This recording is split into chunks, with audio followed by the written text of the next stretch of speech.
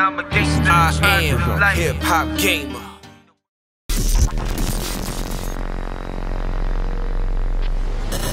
Yo, yo, what's up? It's the one and only hip hop gamer. Make the switch, baby. Make the switch.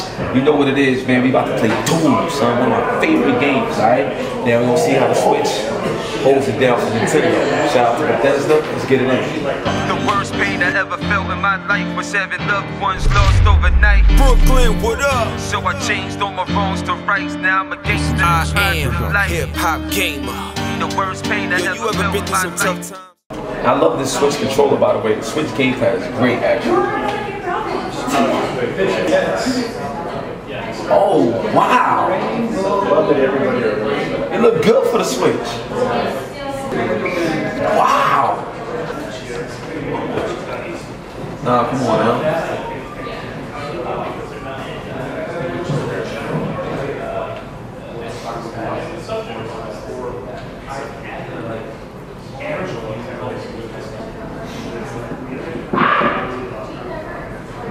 Now, just let you know, this ain't running on the PlayStation or the Xbox or the PC, so don't get all crazy and stuff like that. But for the Switch and what it is, it looks good.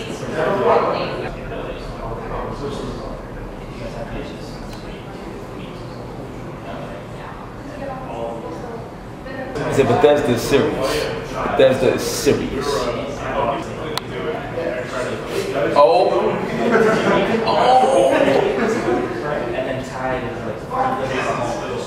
Nice. Oh, got him.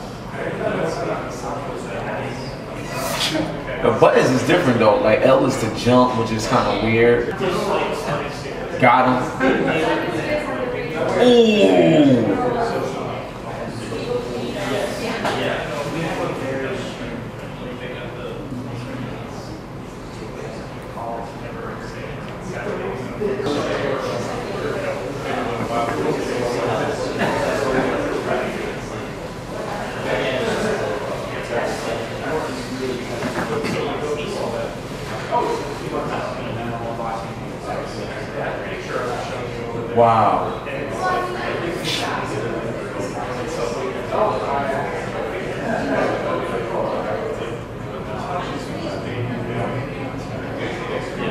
That's it, baby.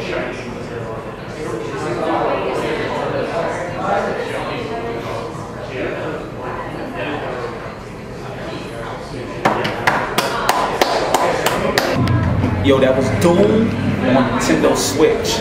Alright? Now, once again, I'm gonna tell y'all, it's not PC, Xbox, or PS4. So don't expect the graphics to be, don't even compare the graphics to that. Alright? It's not on that level, it's not that. But for what it is, the joint is dope, and you're playing Doom on the Switch, and you're playing it on the go.